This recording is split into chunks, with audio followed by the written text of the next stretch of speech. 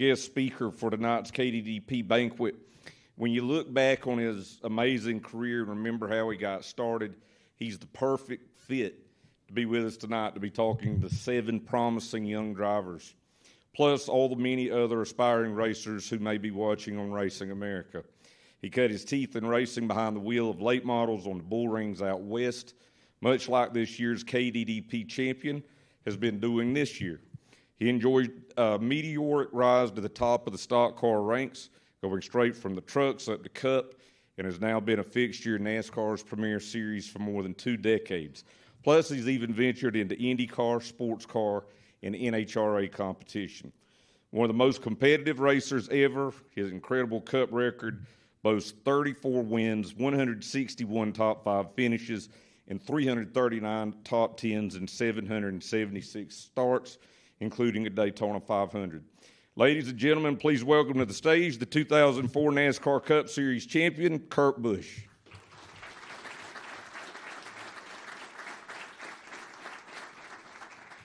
And we're really glad that Kurt could be here because of any of you folks who may listen to the Howard Stern show. You know he'll probably be going to Ronnie the limo driver's wedding here coming up soon. So we're really looking forward to those stories. Thank you. Uh, thank you, Alan. Uh, I'm just blown away by the, the racing wisdom in this room and watching these panelists speak. Uh, it's, it's, it's humbling and it's, uh, it's amazing to feel the stories from everybody. And I'll calm down here in a second. Uh, it's just it's exciting to be here because I'm an Al Kulwicki fan. In 1992, I remember uh, being 14 years old. Um, August 9th, is that what I just learned? Yeah. August 17th, right. I got my math. Okay, your math was way off. Happy birthday, Leo. So in, in 1992, I'm 14 years old. I had never driven a competitive race. Um, my dad uh, had me glued to the TV with him, and we are watching, and like just the compelling story of Richard Petty King in his final race, uh, Jeff Gordon starting his first race with the three Fords that I thought were the only ones eligible. I learned that Kyle was was part of mathematically eligible, and with Mark Martin, well, Mark Martin was championship eligible every year. That's how good Mark was. But I knew it was a Ford year, and the way that you could see things unfold, it, you just could never predict what was going to happen. And the timing of the way, and, and I've learned so much tonight of the way that Alan put it all together, and to see him counting laps from the car to have those bonus points of most laps led. I remember my dad telling me they're staying out so they get most laps led. And those are those small moments that always stick with you. And then when you get to listen and hear this, that's what I want the young seven drivers tonight to, to listen into. And I'll give you my story, and I won't make it too long. But to have a go kart for Christmas at seven years old, it was a little yard cart. It wasn't a race car, it was just a yard cart. And my dad would never let me drive it unless I was watching the Sunday Cup race with him, and then we would go and take it out to the bank parking lot because banks are closed on Sunday. And he would stand there and watch me drive the, the cart around, and we would smash soda cans, and he would go and make laps first, and then I would go and make laps. And within my second year, you know, I'm eight years old, I'm probably still 55 pounds then. I could go faster than my dad. I'm like, man, this is the coolest thing ever. Like, I'm watching the races. I'm now feeling the race car, and I can beat him on the stopwatch. But mom never liked racing. She didn't, I mean, she supported my dad. Uh, my, my grandma was always there for, for my dad's racing. There was always a car in the garage. Uh, but she's like, here's this baseball glove. Here's this baseball bat. Why don't you play in Little League Baseball? And so uh, Uncle Keith, he would always take me to baseball games, but there was always a race car in the garage. It was always cooler and easier to hang out with dad and be by the car than it was to do my schoolwork or to go play baseball. The car spoke to me, his, his car and I got to go to the races with him, and that was a way of life. We weren't from money, we didn't have much. Uh, he was an auto mechanic and a tool salesman. And I remember sneaking in the pits. He, he helped me sneak in the pits. He put me in some dude's trunk. And it's Manzanita Speedway, 1993. And uh, he was running his dwarf car down there on dirt. And I remember him talking after Friday night. It was a two day show, it was Friday and Saturday. And he goes, Man, I can't hang with those guys. Those guys are just beating us. Uh, we're just, we're just going to have to try to run consistent two nights in a row and see where we end up. And I'm like this 14 year old kid going, Dad, you can totally beat those guys. You totally got this. Like, let's do this. And so he finished third on uh, the first night when the track was real wet and tacky. Uh, we're from Las Vegas, Nevada, where dirt tracks aren't really supposed to exist. The dirt sucks out there. and so the second night, the track was dry slick. And he went out and dominated. And I remember that was my first time in the infield ever. And the cars were going around me. I'm like, whoa. You know, I'd been on the outside forever. And he's just like, make sure you stand here and don't go anywhere while I'm racing. I'm like, okay. So I'm just watching the car go around. And he wins, and I just go running over to the scales and check on him, and he sees me, and he's just like, stand back, just get over there. Well, he's trying to pack wet mud into the kickouts so that his car will make weight. And I'm like, just like jumping up and down, going, this is super exciting. Like, you hear these stories of Evernham talking about how he helped do this or that with Jeff, or how Petty did this, or Andrews did that, or McReynolds did this. And I'm learning all this watching TV watching my dad, and he made me stay with that same guy after the race in Phoenix, and he went home. And that guy took me to this little factory called the Dwarf Car Company. And we picked up a new racing chassis. It was halfway built, it wasn't even a roller. And we got back home, and the guy's helping unload it. And my dad goes, Here's your new car. If you build it, you can race it with me. I'm just like, what do you mean? I, I get to race? And that's how it all started. Was my dad taught me everything from TV. I watched him race, I videotaped him, I helped work on the car, and did so much with him. But it was just meant to be a hobby. It wasn't meant to be as big as it got here over the last two decades. And so it was, it was fun, just building the car with dad, uh, raced it my first race. I was in Pahrump, Nevada, 1994. And um, they make you start last when you're a rookie. And I ended up finishing fifth. And my dad's, and I pulled into the tech line because I know just watching dad, like top five have to go to tech. And he won the race that night. And I'm there in tech already. And he, he pulls up. He goes, What are you doing here? And I go, Dad, I finished fifth. He goes, shit, yeah, you're right. I didn't lap you. I didn't see you on the tow truck.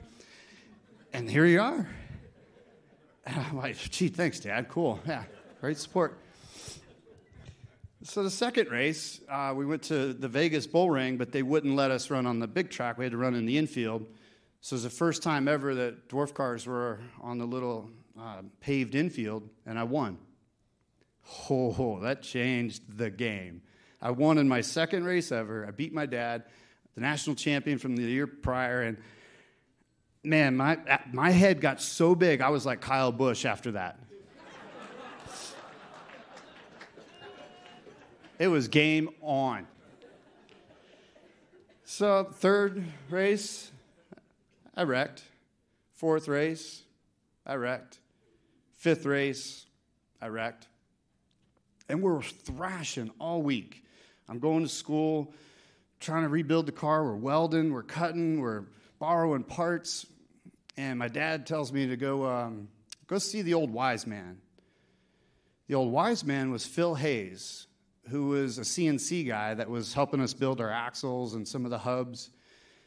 And Phil Hayes had won everything in Vegas back in the day. And the old wise man told me when I went there, well, he made me run the CNC machine for like two hours. I had to sweep the floor, I had to take out all the bins, and it was like this karate kid punishment. And I'm like, what? What is going on here? I'm just not getting this. And after we run the lathe and we get the axle finished up, he goes, This is your axle. You had to work for this because your dad says you're out of money. And I was like, holy smokes, like money just doesn't grow on trees with, with this racing stuff. And he says, Son, just stop putting yourself in position to wreck. And he hands me the axle, and I go out, and I'm like, What the hell did that mean? Don't put yourself in position to wreck. I'm like, It didn't dawn on me for, for a while. Uh, we get the car put back together, and this is where it all started to come together. This is a, halfway through that year, and however many races, I think we're on our seventh race. My dad says, I just need you to finish seventh tonight. I'm like, Dad, we're here to kick ass and win. I mean, this seventh thing seems boring. He goes, Seventh place pays $35. It's 20 for your car's registration and 15 for your pit pass. We're going to break even tonight. I'm like, oh, all right. I drove as scared as I could ever drive. Just don't hit me. Just don't hit me. Just don't run into shit. Don't hit them. Don't. I finished eighth that night, and the pay window, uh, they handed me a check. It was 30 bucks. I'm like, man, I was told to, to get 35 so we can break even. So I gave the check to dad. I go, hey, uh, we're five bucks short. You know, we didn't do that. He goes, yeah, five bucks short. Yeah, something like that after all the wrecks, building the car and everything, that was a moment where he taught me the finance side of how to race and the awareness side.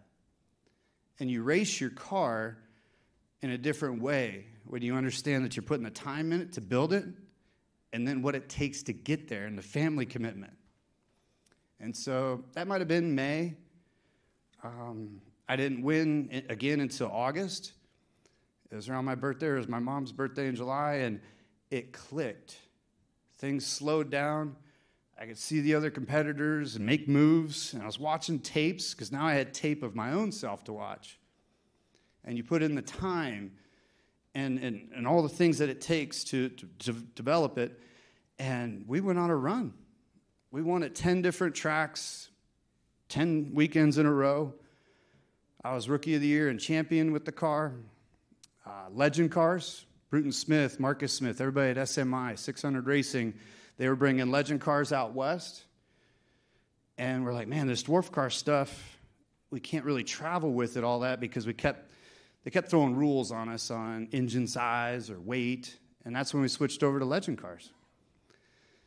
We won everything you could win with legend cars and won the West Coast Nationals, but couldn't afford to come back here to Charlotte and I think Humpy Wheeler, uh, David Stetzer, Chris Powell, the whole gang around Las Vegas Motor Speedway said, We'll rent you a car from 600, go back there and race the Nationals. And so my mom and I would get a plane ticket, we put our four shocks in a bag, and I come to and go to work on this car at 600 Racing. It wasn't my car, and I'm like, wow. The time and the effort and the, the, the little details that went into the car that I was winning with. I stood up here and rented a car, and it was like, whoa, this isn't my car. And it wasn't my feel. But that was an opportunity. It was huge. Here I am as a 16, 17 year old kid, and I'm going to the big show. I'm going to Charlotte, and I'm going to run this quarter mile. Um, I qualified 22nd. I ran over the restart cone, got black flag. Didn't go. Didn't really turn out that good here, but it helped put my name on the map. West Coast started talking.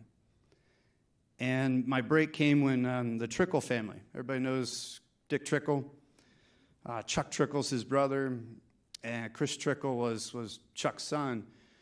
He got um, killed in a drive by shooting in Las Vegas while I was away at college and down in Tucson.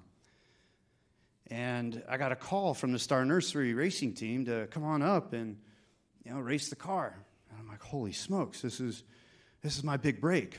yeah, this is this is incredible. And I think I wrecked the first two races, of course, just being too nervous. Just over over sweating it, overthinking it, putting too much pressure on myself. Third race, finished third at Mesa Marin in the big race at the end of the year, uh, Bakersfield. Um, Harvick might have won that night, or uh, was there. Hornaday probably was in the trucks by then. But it was like it was Bakersfield. And Las Vegas Motor Speedway was just coming up out of the ground back then. And the timing of how things work. And the next big break that I got is just, again, it's putting the work ethic in it's putting the passion forward and continuing to drive and learn in all aspects of it. It's not just one thing, and I'm really proud of TR. TR was my PR guy for over six years, and it's this program teaches you so much to, to do more things just than other than just driving. And that's the compartmentalization of how to become a professional. And in 1999, we got on a run with that Southwest Tour car, running that late model. And we won six races, won the championship. But the big break came at, at Sonoma, ESPN. Dr. Punch, that, that was the first time ESPN covered a Southwest Tour race live. And I'm like, ooh, this is that moment. But it's like, whoa, hang on. Just chill. Just, just go drive the car and let things unfold. Trust the team. Follow the pitch strategy. Our pitch strategy was to pit at like lap 32 and run it to the end as far as we could on gas because that's what we watched on TV. Anytime you see road course races back in the 90s, people would pit and then just stay out as long as they could on a tank of gas. And I was able to win that day in Sonoma uh, with that Southwest Tour team. And my name started getting tossed around a little bit. Things started, started happening. But here's, here's another key moment. That weekend, there was a, a NASCAR official that was part of the, the, the Winston Cup. He was also a volunteer for the Winston West and Southwest Tour Series. His name was Ray Judy. He was an official. And Ray's no longer with us, but Ray gave Jack Roush a tip. He said, You guys got to keep track of this kid on the West Coast. And Ray Judy came up to me at Tucson Raceway Park, September of 99, and said, Hey, there's going to be a scout here watching you. Not going to tell you what team, not going to tell you who it is, not going to tell you to look around, just do your thing. Do your thing. And the key thing is that there's always eyeballs on you, always, wherever you go, no matter what you're doing, whether it's a TV interview at track, whether it's a radio interview, whether it's just signing autographs and hanging out with fans, taking selfies and pictures, there's always somebody watching. And at that Southwest Tour race, I ended up winning that night and completely forgot that there was a scout there. And we have the hauler there. We're signing autographs just like I was told Richard Petty did. He always stayed until everybody was gone. You sign autographs till the last fan leaves. And the last fan that came up was uh, Matt Chambers, my crew chief, who ended up being my crew chief on that 99 truck. He watched every move, he watched every moment. Uh, and that's how I got invited to the Gong Show, where there was top five drivers from around the country, Northwest Tour, Southwest Tour, Goody's Dash, modified guy from the Northeast, forgot his name, uh, and then uh, one of the Sauters, Tim Sauter actually, from, from the Midwest. And I was able to beat those guys at the Gong Show to get that ride in the truck series. And so I've always been a fan of Alan because he did it his way. I had no idea what the song and my way, but my way ended up being very similar. And that's why I'm very thankful to, to stand here tonight and tell you guys my story on how you go from one step to the next and get to that final level. But it was passion that got me there, and it's been professionalism the second half of my career. And so those are, those are the two things I don't want to teach you seven kids. There's, there's a lot that goes on out there. You don't have to be professional right now, still be a kid, but you gotta, you gotta learn all the different parts of it. And I, I get emotional since my little wreck in Pocono, but it's part of some of the side effects. Uh, but again, it's fun to tell the story, and I, I've learned so much tonight. This has been a, magical night. So thank you, TR. Uh, kids, just keep pushing and just know that there's 365 days in a year, and you got to race in your own head for 365 days because that's what it takes to get to the top. So thank you, everybody. Have a good evening.